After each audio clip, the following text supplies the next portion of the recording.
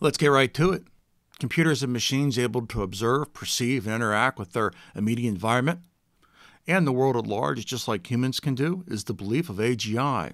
AGI, or Artificial Generalized Intelligence, is the ultimate frontier of AI and the precursor to godlike concepts of superintelligence. It's supposed to enable machines and software applications to do and act like we humans can. In simple words, artificial generalized intelligence involves an ever growing umbrella of abilities of machines to perform various tasks significantly better than even the brightest human minds can do. The problem is, right now, it's a complete myth. Before we move on from here, we need to understand one thing. Most artificial intelligence is machine learning. Machine learning right now is nothing more than finding patterns in data. That's it. We call these algorithms models. A typical AI based model in use today, for example, the well known ability to differentiate pictures of cats from pictures of dogs, is a non transferable skill.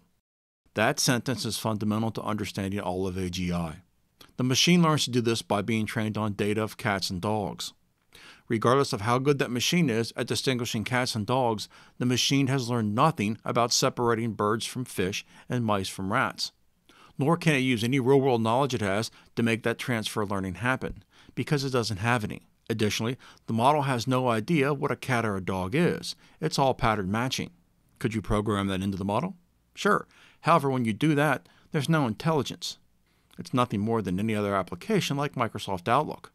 Currently, there is no algorithm for generalized intelligence. It's all pattern matching and it's all very simplistic. Earlier, I noted that all machine learning models are non transferable learning.